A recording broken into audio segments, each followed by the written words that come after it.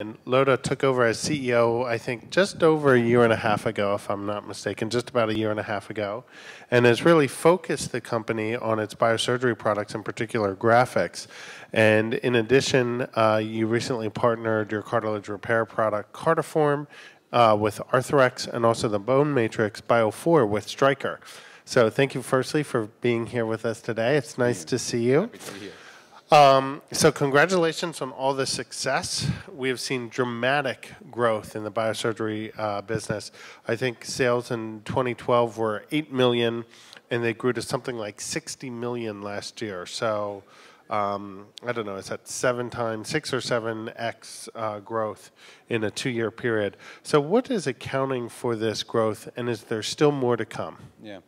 So I think what is important in 2014 is that we, we really made the Osiris University a Osiris enterprise, uh, established a commercial infrastructure which is pretty competitive in the marketplace right now. Uh, we have about 100 sales representatives in the, in the, in the field, um, a management team on top of that, and then a, you know, a really um, good uh, reimbursement and market access team. So first you got to get that infrastructure in place. We did that. We only did that after we completed the large clinical study. So we did this in sequence. Uh, first we want to know we had a good product and then we established the commercial infrastructure and then we went after reimbursement and I'm really happy to announce that we are over 80% Medicare coverage um, as of today. Um, so th this, this is significant progress.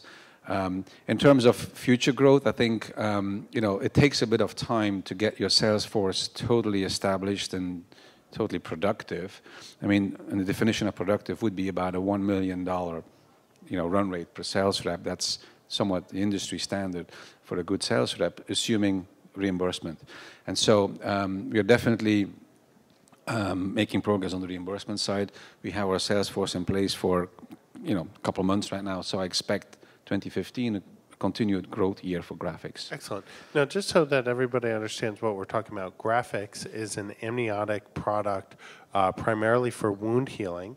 Um, and the study that you mentioned was uh, for diabetic foot ulcers specifically. Um, so, tell us a little bit about how that study has helped you with respect to reimbursement. And you mentioned you have about 80% Medicare coverage.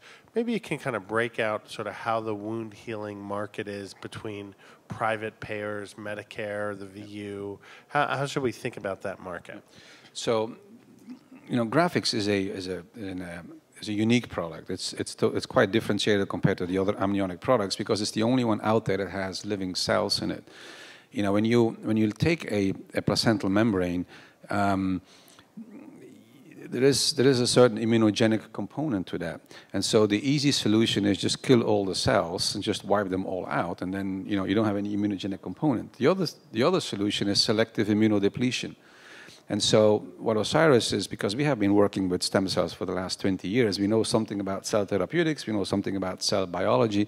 We have taken the route of selective immunodepletion which um, allowed us to bring a product to the market that, that is really um, uh, protects the cells as well as the three-dimensional uh, matrix structure of the placental membrane, both important for wound healing. So once we developed that product, we did a large clinical study, multi-center study in the United States. 20 centers participated in this study. Um, we announced the results a bit over a year ago. Um, very positive results, very pleased with that. And then we started the reimbursement process. As of today, um, you know, the way how the market shakes out is, um, you know, Medicare um, lives are very important patient target group because they are elderly people, diabetics, um, and that's where you have most of the DFUs. So that group, I would say, represents about 50% of the market. And um, you know, it's very important as you embark on reimbursement to get first Medicare squared away. After Medicare, your commercial payers um, um, come online. We have made quite some progress on the commercial side as well. Um, you know, definitely, we would like to get over 100 million lives insured this year on the commercial side, besides the Medicare side. And so uh, we're making significant progress there as well. But this is going to be a work in progress throughout the rest of 2015. Um, so I would say today our business is um, primarily now uh, Medicare patients. I mean, of course, the VA business, the pure government business, is, is still a very important component of our business, but is not the largest component anymore. It is actually Medicare patients, mostly treated in the HOPD. That's a really important transition from just a year Yes. ago, so it's good to hear that. Now, there has been a lot of talk about CMS and the final pricing rule um, that basically is including a bundling of skin substitutes, such as Grafix, um, into uh, outpatient procedures, and this went into effect earlier this year, if I'm not mistaken. Walk us through the details, if you would. It's a little bit particular, so maybe keep it at a high level for us.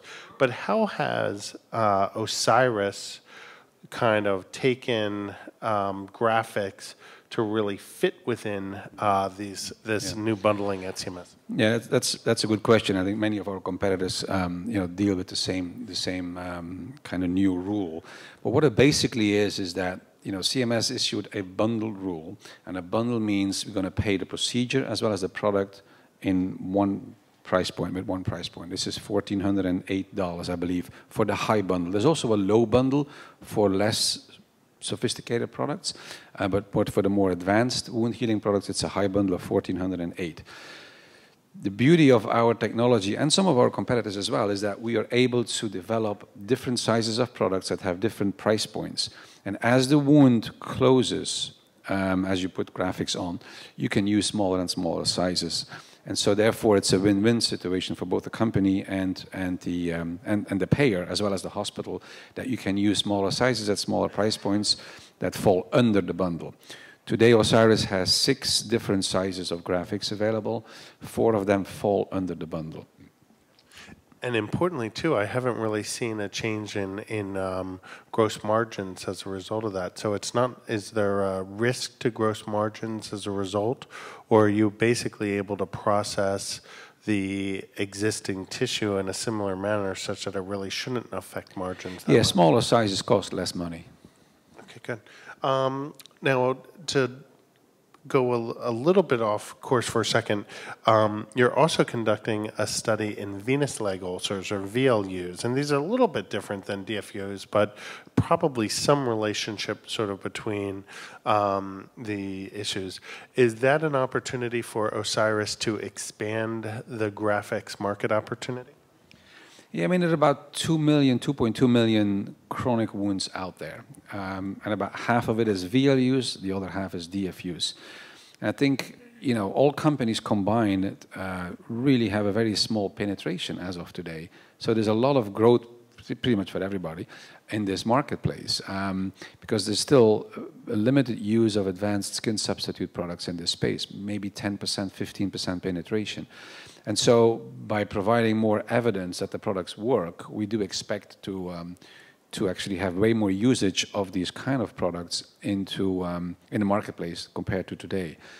Now, we're doing it in two steps. First, we have a smaller program going on that we just is more exploratory in nature, and we'll follow that up with a large phase three quality, um, multi-center, randomized, controlled clinical study in VLUs. Excellent. Now, one of the things I really like about Osiris is it's not just a wound healing company. It's not just a Grafix company. And you guys have actually been very productive on the R&D side. And one of the uh, cool products that you've come out with is Cartiform, uh, which is a really innovative cartilage repair product. And that was recently, uh, maybe not quite a year ago, partnered with Arthrex. So tell us who Arthrex is and what is the potential for this product in their hands? So yeah, we, we you know I, I believe that you know wound care as well as sports medicine are two really sweet spots for regenerative medicine. When you have a cartilage defect or a menisci defect or you know a chronic gaping wound, you know a popping a pill will not solve the problem, and so you need different solutions for that. And, and so that's really a sweet spot for regenerative medicine and therefore for Osiris Therapeutics. Um, you know, in the sports medicine business, we developed a product called Cartiform, which is a viable cartilage mesh that um, is implanted, um, you know, at the at the site of uh, damage, and we have done till now, we have done, you know, scientific characterization work. We have done goat studies, and we have done about 250 implants, 300 implants right now uh, in, in, in, in patients. And we're able to actually do some histological confirmation of the quality of the implant in patients. So some physicians had to go back into the patients, not for cartilage reasons, but for other reasons, and were able to take a biopsy. We just published that, the first cases um, last month, and we're really pleased to see that we were able to regenerate um, hyaline cartilage, not fibrocartilage, which is what you mostly have today. And so this is definitely um, a product that we believe very strongly in. It's going to address a very significant unmet medical need. Arthrex is the partner of choice. It's a strategic partnership that goes much deeper than just distribution. We have very close interactions at the R&D level, regulatory level, marketing and sales level.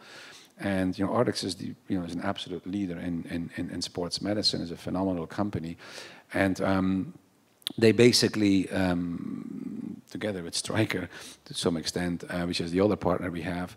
They basically look at the upcoming academy meeting at um, the orthopedic surgeons meeting this week in Vegas as a real launch meeting for both Cartiform and Stryker looks at it as well uh, for the launch of Bio4. Um, the benefit of, of a, a, company like Arthrex is that currently we use the product more as um, an open surgery, but Arthrex is developing surgical techniques to use it arthroscopically, which expands the market quite a bit. There are a couple hundred thousand of these procedures a year um, especially if you could apply the product arthroscopically and you would be able to develop a surgical technique for that, that would expand the market quite significantly. Makes a lot of sense. You mentioned Stryker and Bio4, so tell us what this product is and what this deal uh, does for Osiris. So Osiris Therapeutics developed Osteocel in 2005 and ultimately sold this to NuVasive in 2008.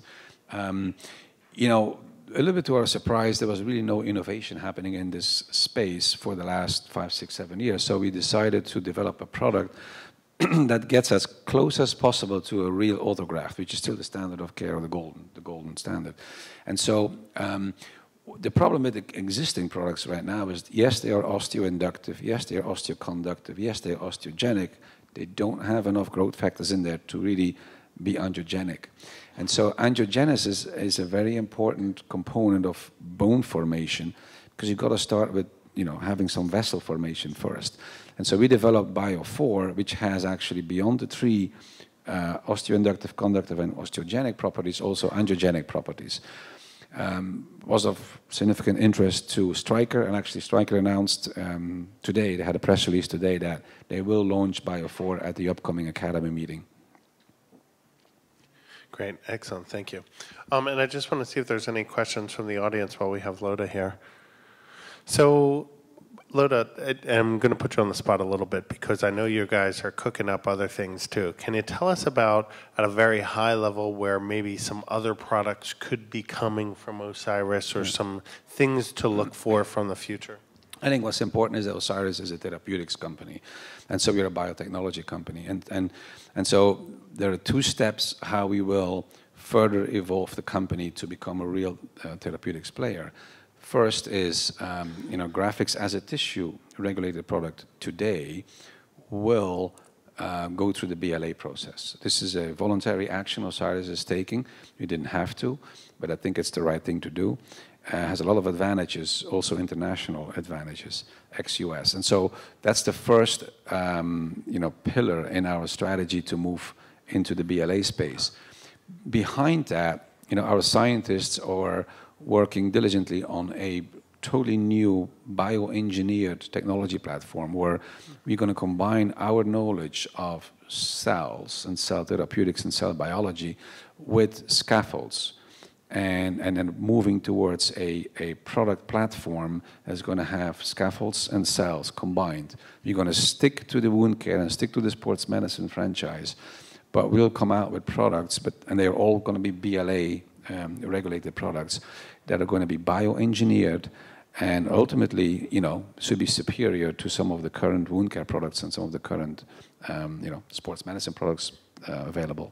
Very interesting. But that's, that's going to be about a five-year program. All right, cool. Well, I'll, I'll stick around and wait and see that.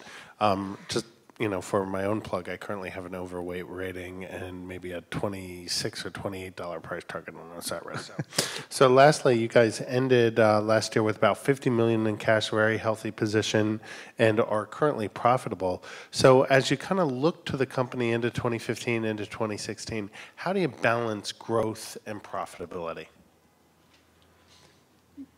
Yeah, that's that's a difficult question. Um, you know, we are a very scientifically R&D driven company. We will invest in R&D. We'll continue to invest in R&D. Um, on the other hand, um, especially with the new bioengineer platform that's coming along. However, um, you know, we are we have turned the corner. This company is a is a as a player now with a significant revenue. Uh, we continue to grow. Um, we have also now uh, a profitable company, and, we don't plan to change that unless there is a very specific high you know potential reward kind of R&D program that might change because I want to keep that flexibility. But ultimately, um, yeah, the company has turned the corner as a commercial enterprise. Excellent. Well, Lode, thank you very, very much to be here.